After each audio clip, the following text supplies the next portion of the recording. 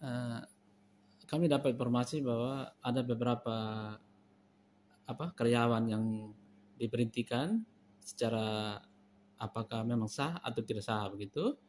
Eh, saya tidak sampai ke sana, tapi kan hanya mem- mempertanyakan bahwa eh, mereka sudah sejauh mana eh, keadaannya. Oke, ini di luar ya. Ya. Ini kan eh,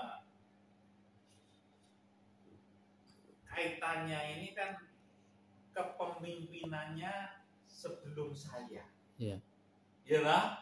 Nah, cuma saya sekarang ya mau nggak mau karena saya ditugaskan di sini Iya. menggantikan beliau, ya bertanggung jawab untuk meneruskan meneruskan prosesnya seperti apa. Jadi memang eh, untuk hal tersebut itu bahwa yang bersangkutan itu merasa keberatan. Iya. Kenapa dikeluarkan dari bandar udara Pamulang? Setelah saya lihat, saya apa namanya, kita lihat kronologis kejadian dan sebagainya, memang eh, di dalam perjanjian kinerja dia yang ditandatangani oleh Kepala Bandar Udara pada tanggal 3 Januari 2022 sama yang bersangkutan saudara ya itu di pasal 4 bahwa sewaktu-waktu secara sepihak pihak pertama bandara itu dapat melakukan pemutusan hubungan kerja sepihak apabila terjadi hal-hal sebagai berikut. Satu, pihak kedua melalaikan tugas dan tanggung jawab.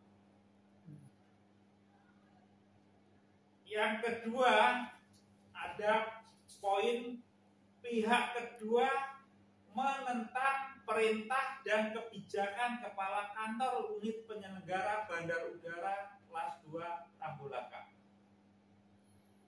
Kita tidak puas, kita juga sudah menanggapin, kan tidak puasa bukan ke kami, langsung melalui pengadilan.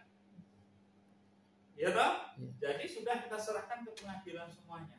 Prosesnya seperti apa nanti? Dah intinya itu aja ya. Jangan nanti kalau sampai ini kenapa kenapa kenapa, jangan. Jadi intinya uh, sudah diproses melalui pengadilan tata usaha negara, itu aja sudah. Ya, nanti tinggal menunggu keputusan dari pengadilan tata usaha negara. Udah gitu aja. Kalau seandainya nanti keputusan eh, dari Lain cerita, sudah. Iya. Lain cerita itu, ya. Lihat keputusannya seperti apa, jangan ande-ande. Iya, iya. gitu loh. Lihat aja keputusannya seperti apa. Siapa yang menang, siapa yang kalah, sudah itu aja. Ya. Nah, kalau misalnya nanti eh, kita dianggap tidak melalui proses, ya nanti kita lihat, kan gitu aja. Ya gitu aja, jangan Berarti ya tahu Bapak sudah menyampaikan bahwa nanti kita lihat. eh, Tapi kalau misalnya eh, mereka melakukan protes lalu hasil keputusan pengadilan hmm.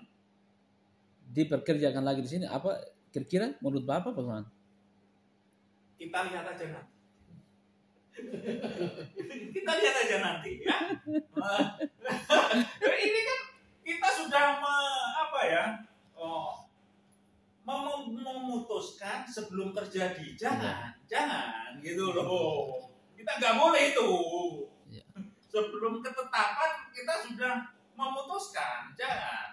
Iya. Ini kan kita harus apa? Harus berandai-andai Eh, Bapak. enggak, enggak bisa, enggak bisa, enggak bisa.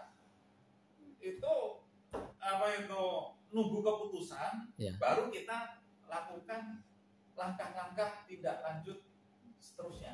gitu Iya. aja. Apa pun keputusan kita terima. Ya, Bapak ya, mereka kan terima. Bisa kita banding, bisa apa kan? Oh begitu. Itu kan banyak kan Iya, masih iya. yang kan gitu loh.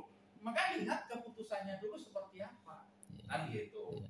Mungkin dia juga nggak puas banding juga, nggak ngerti juga. Eh, iya, Iya. ini masih banyak prosesnya pak, masih Iya. banyak. Kita Iya. tidak ti- tidak bisa eh, men- misalnya ya mengandeng-andeng gitu mengandeng-andeng. Hmm. Kalau misalnya dia kalah, ya misalnya dia kalah,